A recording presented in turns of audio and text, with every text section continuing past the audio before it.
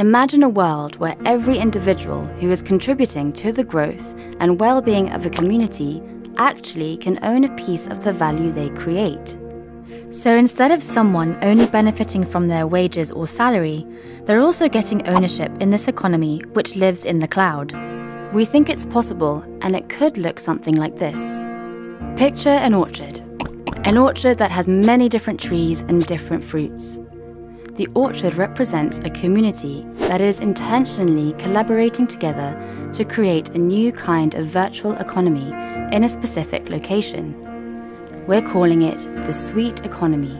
Now imagine that the trees in the orchard are businesses, and the fruit on those branches are actual products or services that go to market and serve the globe. People with different skill sets are making sure that the soil has nutrients and the trees are healthy, tended to, and producing the best quality and highest value fruit. So when one tree grows and produces fruit, the entire orchard or economy receives the value. What's different about this? Well, here's where this is transformative.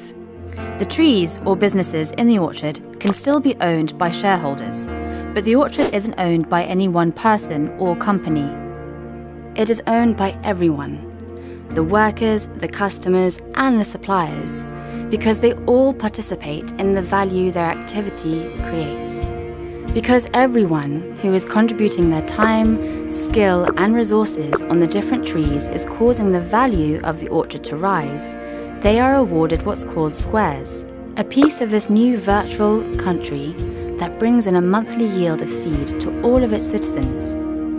The seed turns to cash when you sow it by spending it in this new economy. This creates an attitude of ownership and a win win scenario where skills are valued and collaboration is rewarded. This is the power of changing incentives.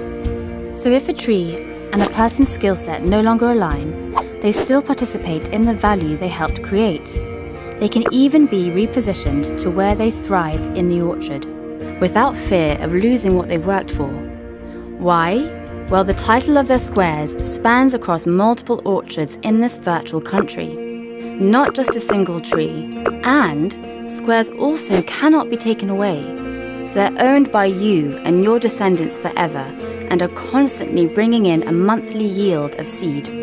The trees in all of the orchards are connected through incentives that form a safety net which is continually growing and getting stronger. Each person and their skill set is one strand in that net.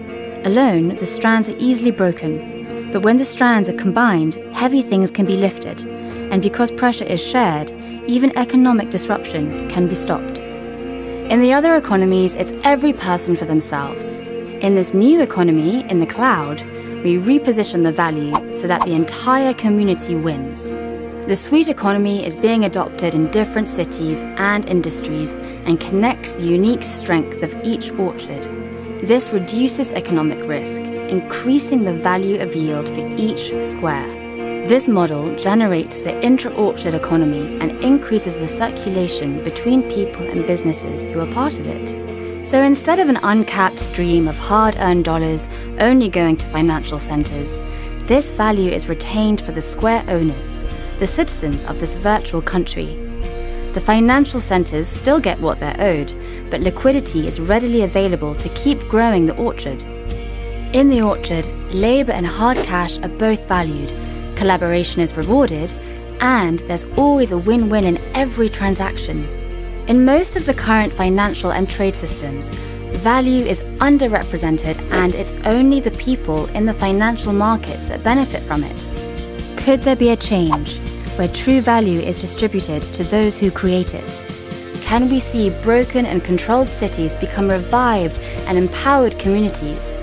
Imagine a new economy built on trust and unity instead of greed and fear. It can be done by choosing a better way. It's simpler than you might think. Sweetbridge.